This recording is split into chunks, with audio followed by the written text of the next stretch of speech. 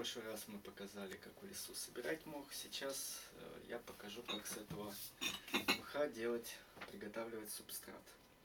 Вот высушенный мох уже. Вот берем мы его пласт и вот так вот просто, когда мох сухой, ну, такие вот жесткие ветки мы выкидываем и вот так вот просто перетираем. Если шишка, то мы ее выкидываем. Если вот такие палки, то тоже выкидываем.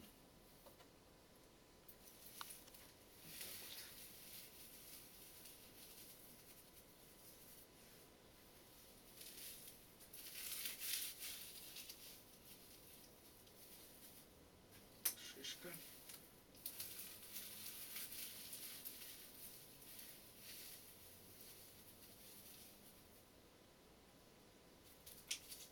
А если шишка попадется в субстрате? Да, ничего страшного.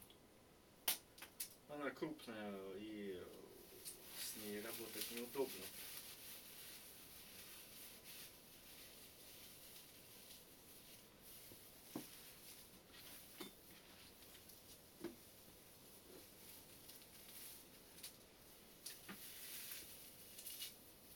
Еще шишка.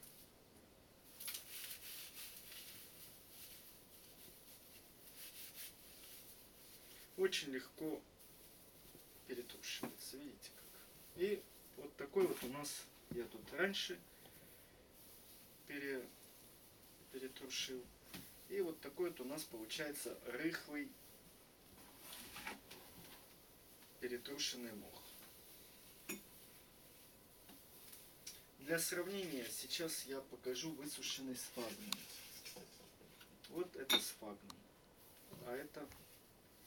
И теперь мы вот с таких двух составляющих будем делать. Можно посадить в чистый.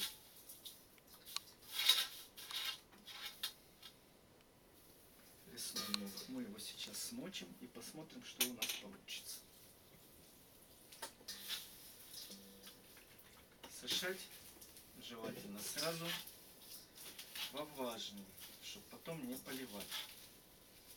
И вот мы видим, что он смачивается, а, да хотя прекрасно он смачивается. Но я все-таки бы в лесной мох добавил бы немного сфагнума. Сфагнум он более гигро- гигроскопичен и он будет лучше впитывать влагу и распределять ее равномерно по всему горшку. Вот достаточно. Столько сфагнума вполне достаточно. Вот в такую смесь, если у вас нету доступа к субстратам с верхового торфа, можно сажать стептокактусы. Без ничего. Сейчас мы это и сделаем.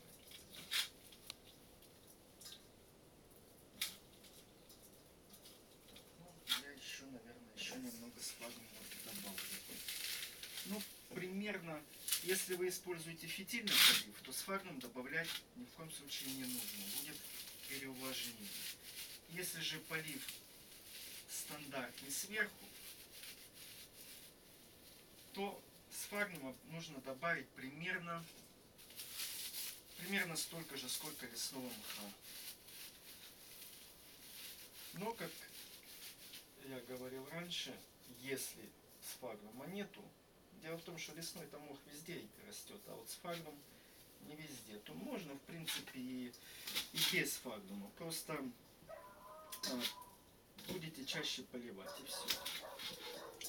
Ну, вот такая вот такой состав мне уже нравится. И сейчас мы проведем посадку. Я взял вот два сеянца, которые, а,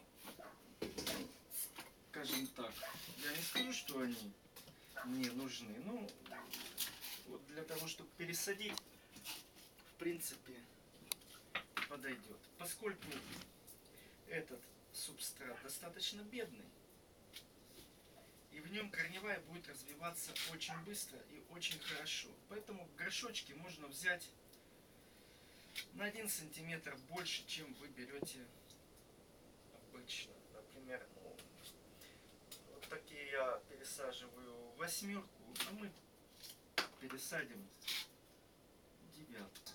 Ну, сейчас вот, в принципе, посадка так же, как и другой субстрат. Я сажаю вот так по краям, облепляю мох, он хорошо Гнездо. держится. Гнездо Да, делаем как бы гнездышко, чтобы не напихивать потом по краям, потому что это, э, скажем так, до самой глубины это ну, Покажи, покажи горшочек с гнездом в камеру. Сейчас, покажу.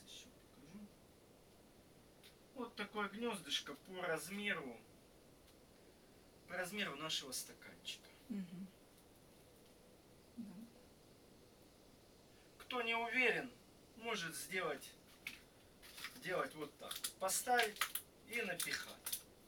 Там выровнять как-то вот несколько раз, если вы не уверены. Затем мы просто берем, вынимаем. А, Что желательно сделать? Желательно сразу же сделать и обслуживание. Например, вот здесь вот мы видим Э, Я предпочитаю выращивать в одну розетку, поэтому я вот одну розеточку вот эту оставлю. Вот, вот это Мгм. одна розеточка. А вот, вот тут вот пасынок, я его удалю. Это делать желательно, конечно, каким-то инструментом, но я это делаю руками. И вот так вот мы его и садим.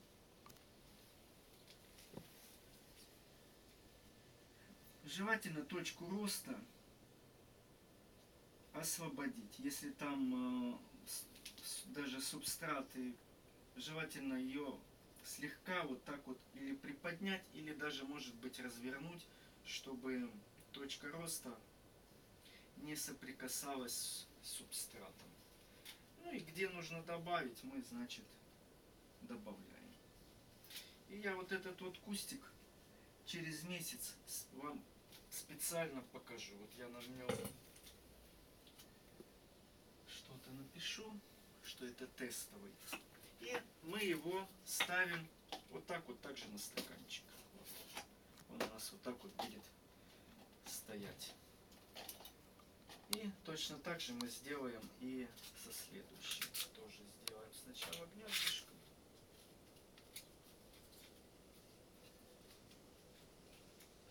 Да, и естественно, поскольку субстрат этот бедный, то удобрять, конечно, нужно обязательно.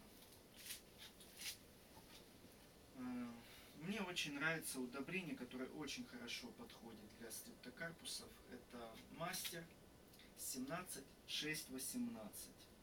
Там много аммонийного азота и это как раз то, что нужно литофитным растениям. И вот, ну вот я показывал так вот, видите, вот точку роста желательно вот так вот слегка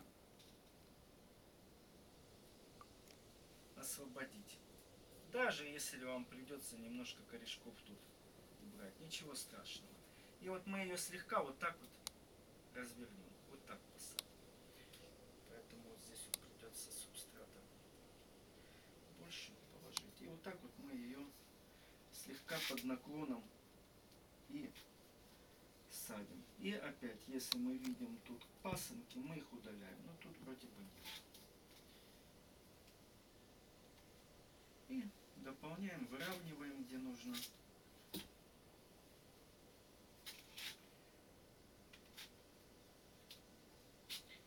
Еще, если вы используете